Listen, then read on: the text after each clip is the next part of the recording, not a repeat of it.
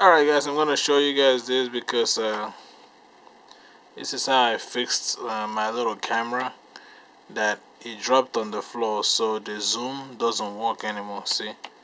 When I'm touching it see you can't you can't even see anything.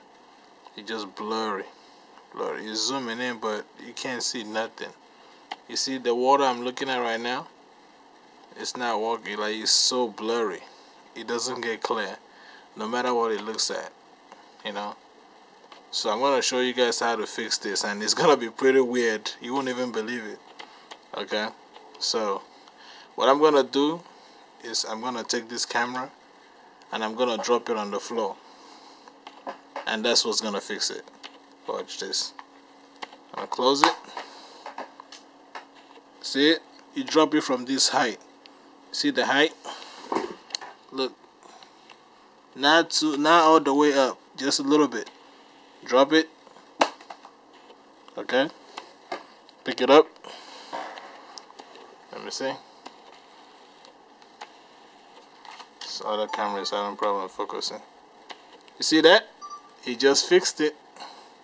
Hold on. Let me show you. You guys see that right? You see the water it was looking at before? Now it's fixed. And when I took this to Best Buy one time these guys took two weeks just to fix this and what I just fixed right now just by dropping it back on the floor.